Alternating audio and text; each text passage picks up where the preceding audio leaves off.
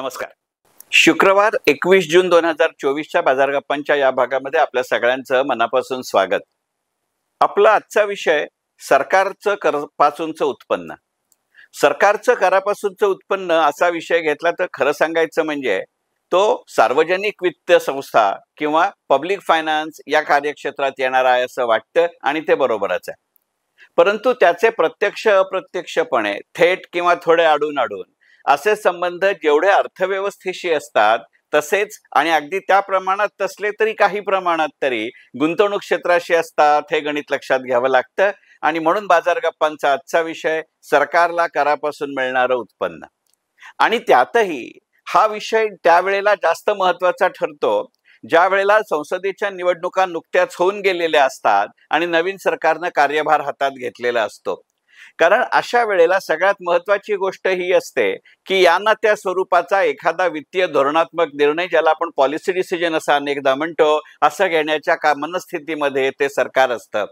आणि त्यातही ज्या वेळेला असं निसटत्या बहुमतानं ते सरकार सत्तारूढ झालेलं असतं म्हणजे जरूर तो संसदेमधला सगळ्यात महत्त्वाचा आणि मोठा राजकीय पक्ष म्हणून उघडला उभारलेला असतो किंवा उभा राहिलेला असतो परंतु त्याच्या एकट्याच्या बळावरती त्याला बहुमत मिळालेलं नसतं. घटक पक्षामध्ये किंवा आघाडीमध्ये जे घटक पक्ष असतात त्यांच्या पाठिंब्यावरती ते सरकार यानं त्या स्वरूपामध्ये अवलंबून असतं. एकंदरीतच त्या प्रमाणामध्ये विरोधी पक्षांच्या खासदारांची संख्या वाढलेली असते. आणि त्यामुळे सुरुवातीला एकमेकांचा अंदाज जरी आलेला नसला तरी नव्यानं तो घेण्याची प्रक्रिया सुरू राहिलेली असते. आणि त्यामुळे अर्थकारणाकडे एका वेगळ्या सावधपणाने दबा धरून बसणं याला मराठीमध्ये काही वेगळे अर्थ आहेत. आणि म्हणून तो शब्द मी वापरलेला नाही. पण एकंदरीतच कोणत्याही संधीकडे फार वेगळ्या पद्धतीनं पाहण्याच्या मनस्थितीमध्ये आणि परिस्थितीमध्ये तत्कालीन केंद्र सरकार असतं. आत्ता अगदी आपल्या देशामध्ये अशीच परिस्थिती आहे.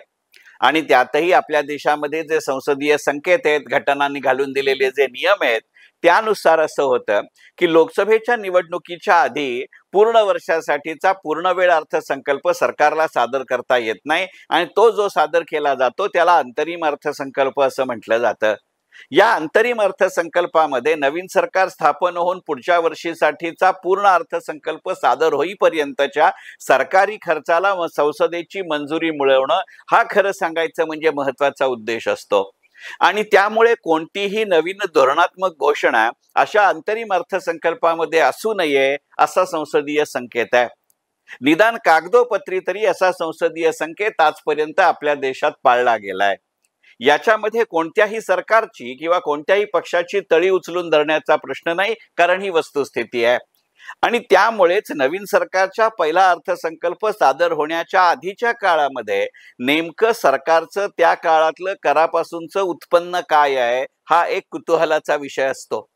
कारण करात सरकारचं करापासूनचं उत्पन्न हे खरं सांगायचं म्हणजे सरकारच्या उत्पन्नाचा महत्त्वाचा स्रोत आहे.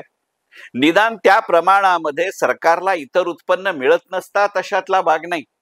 पण ज्या सातत्यानं ज्या नियमितपणानं सरकारला प्रत्यक्ष किंवा अप्रत्यक्ष करापासूनचं उत्पन्न मिळतं त्या सातत्यानं किंवा त्या नियमितपणानं सरकारला सरकारी कंपन्यांकडनं डिव्हिडंड मिळेल अशातला भाग नाही. त्या प्रमाणामध्ये सरकारला सातत्यानं एक्सपोर्ट अर्निंग होतील अशातला भाग नाही. आणि मग अशा वेळेला जो याला आपण हुकमी अस्त्र असं म्हणू असा सरकारी उत्पन्नाचा घटक हा सरकारला करापासूनचं मिळणारं उत्पन्न हा असतो. आणि मग प्रामुख्यानं अशा वेळेला आयकर म्हणजे इन्कम टॅक्स मग तो वैयक्तिक असेल किंवा संस्थात्मक असेल?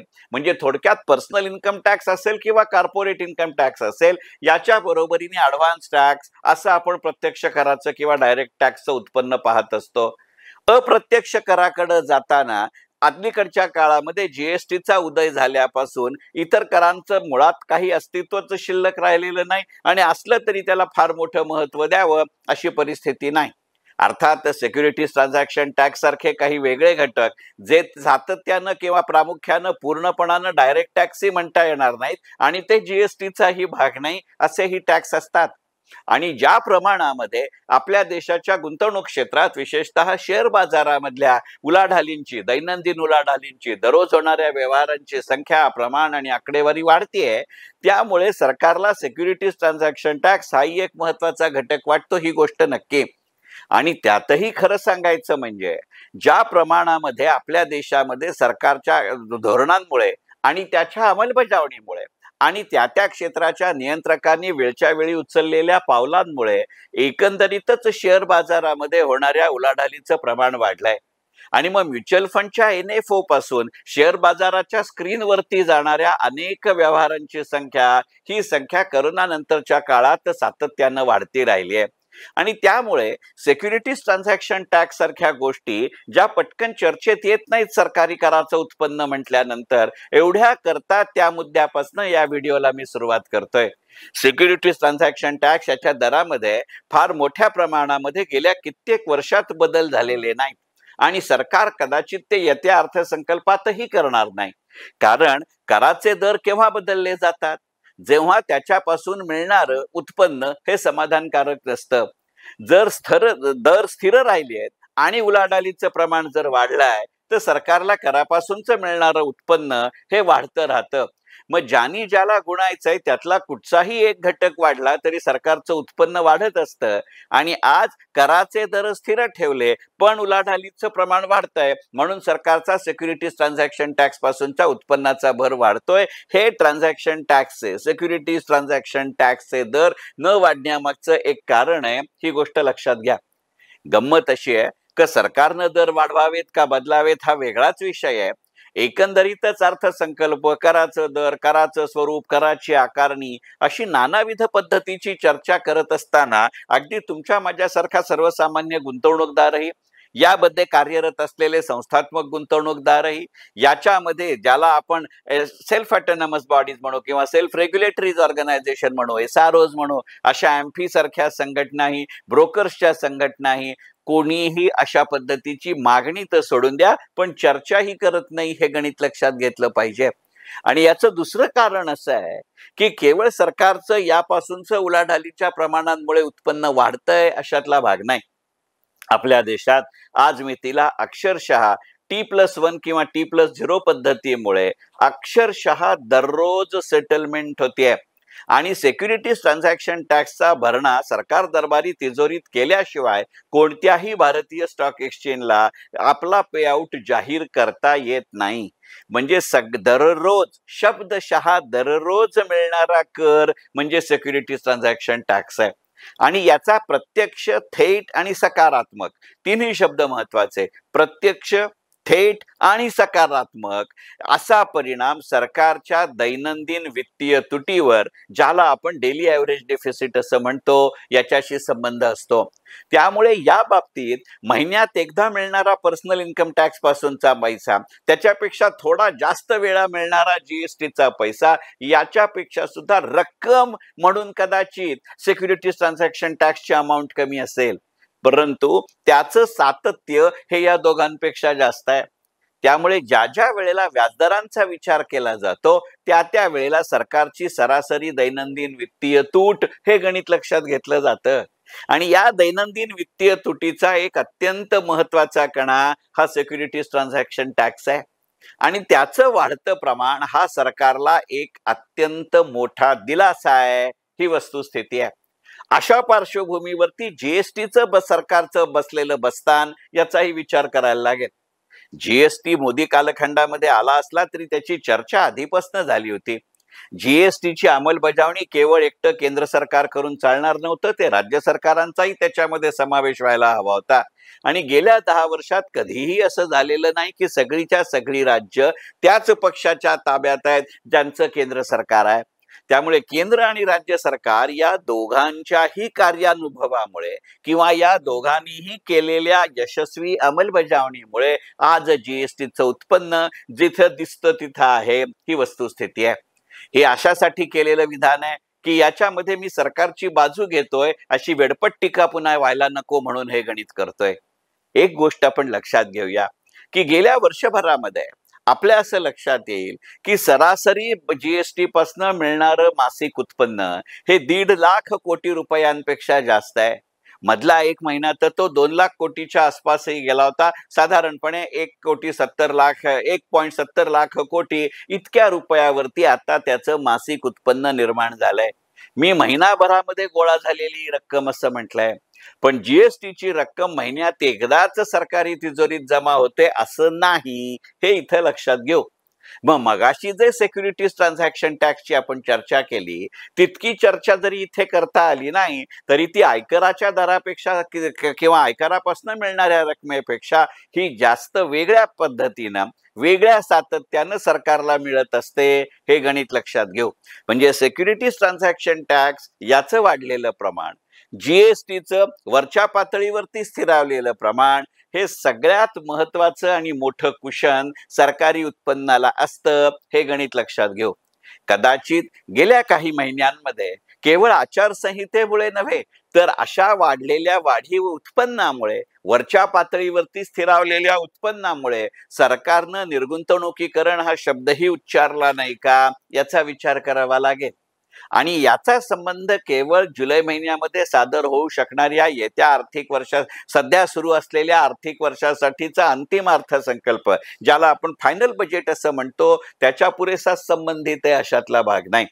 कारण या करांमध्ये जसा सिक्युरिटीज ट्रान्झॅक्शन टॅक्स आहे जसा जीएसटी आहे तसं आयकराचंही गणित आहे.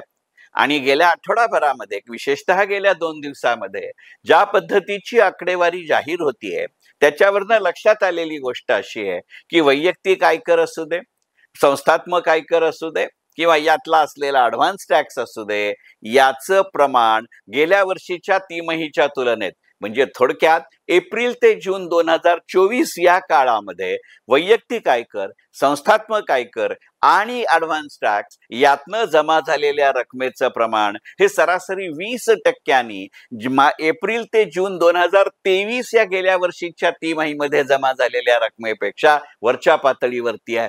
म्हणजे या तीनही महत्त्वाच्या स्रोतांपासून सरकारला मिळणारं कराचं उत्पन्न जास्त असल्यामुळे कदाचित व्याजदरामध्ये फार मोठ्या प्रमाणावरती बदल होतील अशी शक्यता यंदाचा अर्थसंकल्प सांगत नाही. असं जेव्हा कराचं उत्पन्न वाढीव दरावरती असतं त्यावेळेला अर्थव्यवस्थेमधले व्याजदर स्थिर ठेवणं निदान एका विशिष्ट मर्यादेमध्ये पातळीमध्ये ज्याला आपण बँड असं म्हणतो ठेवणं हे सरकारला शक्य होतं. याचा थेट संबंध फिक्स्ड इन्कम सेक्युरिटीजच्या संबंधात आहेत. मग ते कर्ज रोखे असतील ते कमर्शियल पेपर्स असतील त्या बँकांच्या ठेवी असतील त्या कंपन्यांच्या मुदत ठेवी असतील त्या एनबीएफसीनी जाहीर केलेल्या विशिष्ट ठेवी योजना असतील या दृष्टीनं तुमच्या माझ्यासारख्या सर्वसामान्य गुंतवणूकदाराला या योजनांकडे बघण्यासाठी जी एक फुरसत लागते आपल्या परिभाषेमध्ये श्वास घ्यायला जो वेळ लागतो ते वेळ ही अशी वाढीव कर उत्पन्नाची पातळी देत असते. तुमच्या असं लक्षात आलं असेल की गेल्या काही आठवड्यांमध्ये अनेक एनबीएफसीनी वाढीव दराने ज्या पद्धतीनं मुदत ठेवींच्या योजना जाहीर केल्या तो योगायोग नसतो. त्याचा राजकारणाशी काही संबंध नसतो असं म्हणणं हे चुकीचं आहे. शेवटी वित्तीय तूट हेही एक राजकीय अर्थकारण आहे हे मला पूर्णपणाने मान्य आहे. परंतु अशा पद्धतीनं वेगवेगळ्या पद्धतीनं आणि वेगवेगळ्या प्रकारच्या करांपासनं असलेलं वाढी उत्पन्न वरच्या पातळीवरती स्थिरावल्यामुळे येणाऱ्या काळामध्ये व्याजदर स्थिर राहतील ही गोष्ट नक्की. तुमच्या असं लक्षात येईल की केवळ याचा संबंध मुदत ठेवींशी अशातला भाग नाही. आपल्याकडेही अनेक म्युच्युअल फंडांच्या वेगवेगळ्या स्वरूपाच्या फिक्स्ड इन्कम सेक्युरिटीजचे वाहिलेल्या अशा पद्धतीच्या योजना आहेत. त्याच्याच बरोबरीने अनेक जण अलीकडच्या काळामध्ये म्युच्युअल फंडांच्या लिक्विड फंड स्कीम्समध्येही पैसे गुंतवतात. ह्या लिक्विड फंड स्कीम्समध्ये आपण गुंतवलेला पैसा हा प्रामुख्यानं अशा पद्धतीच्या व्याजदराशी निगडीत अशा साधनांशी निग गुंतवला जातो. आणि त्या व्याजात साधनांपासून मिळणारं उत्पन्न याचा थेट आणि प्रत्यक्ष संबंध हा स्थिरावलेल्या व्याजदरांशी असतो. कारण त्याचा संबंध त्याच्या जोरावरती त्या त्या योजनेच्या यील्ड टू मॅच्युरिटी ज्याला आपण वायटीएम म्हणतो याचा होत असतो. मग तो ज्या वेळेला एक विशिष्ट अंदाज बांधण्याच्या क्षमतेचा पात्रतेचा पातळीचा असतो तेव्हा गुंतवणूक करताना जास्त विचार करून गुंतवणूक करता येते हे गणित लक्षात घेऊ. विशेषतः प्रॉव्हिडंट फंड सारख्या पेन्शन फंड सारख्या ज्या व्यक्ती याच्या ज्या संस्था किंवा गुंतवणूकदार अशा साधनांमध्ये गुंतवणूक करत असतात त्यांच्या दृष्टीनं ही आदर्श परिस्थिती असते. त्याच्याच बरोबरीने ज्या वेळेला नव्यानं म्युच्युअल फंडचे एन एफ ओ येतात त्या एन एफ वरतीही बंधन असतात. एन एफ ओची मर्यादा संपल्यानंतर ज्या प्र त्यांनी गोळा केलेला पैसा एका विशिष्ट कालखंडामध्ये त्यांना साधनांमध्ये गुंतवावा लागतो. ती फ्री फ्लोटिंग रक्कम म्हणून त्यांना त्यांच्या बॅलन्स शीटमध्ये किंवा त्यांच्या हिशोबात दाखवता येत नाही. अशा वेळेला बहुतांश रक्कम पहिले लगे हात ज्याला आपण म्हणतो ही फिक्स्ड इन्कम सिक्युरिटीमध्ये किंवा लिक्विड फंडमध्ये गुंतवली जाते. आणि मग ती टप्प्याटप्प्यानं त्यांनी दिलेल्या त्या गुंतवणुकीच्या योजनेकडे जाते. म्हणजे बॅलन्स ॲडव्हान्टेज असेल तर त्यांनी केलेल्या पोर्टफोलिओमध्ये जाईल. आत्ता जशी मोतीलाल ओसवालच्या निफ्टी डिफेन्स इंडेक्स फंडचे त्यांनी तर यादीच जाहीर केले. म्हणून पहिल्या दिवशी आलेले सगळे पैसे त्या बारा तेरा चौदा ज्या काही योजना शेअर्स आहेत त्या कंपन्यांच्या शेअरमध्ये ते गुंतवतील अशातला भाग. भाग नाही. मग जसं हे संस्थात्मक गुंतवणूकदारांना शक्य असतं तसं ते तुम्हाला आणि मलाही शक्य असतं. असे जेव्हा व्याजदर नक्की राहतात त्यावेळेला माझ्याकडची जी मोठी फ्लोटिंग रक्कम आहे ती एखाद्या फिक्स्ड इन्कम सेक्युरिटीमध्ये किंवा लिक्विड फंडमध्ये गुंतवून एस टी पीच्या माध्यमातनं किंवा सिस्टमिक विड्रॉवल प्लॅनच्या माध्यमातनं माझा जो टार्गेट फंड आहे त्याच्याकडे गुंतवता येते का? याचा विचार करायला सरकारचं वाढीव करापासूनचं उत्पन्न किंवा करापासूनचं वाढीव उत्पन्न हा एक पॉझिटिव्ह सिग्नल देत असतं. या दृष्टिकोनातनं बाजार गप्पांचा आजचा विषय हा आहे. आणि त्यामुळेच साहजिकच याचा एक सकारात्मक परिणाम निदान मध्यम ते दीर्घकालीन गुंतवणुकीसाठी अगदी डे ट्रेडिंग नसलं तरी पोझिशन ट्रेडिंगसाठी शेअर बाजारात कार्यरत असणाऱ्या कार्यक्षम असणाऱ्या आणि ज्यांच्यामध्ये उलाढालीचं सातत्य आहे अशा शेअर्सवरतीही होत असतो. आणि या नानाविध घटकांचा संबंध हा सरकारला करापासून मिळणाऱ्या वाढी उत्पन्नाचा असतो.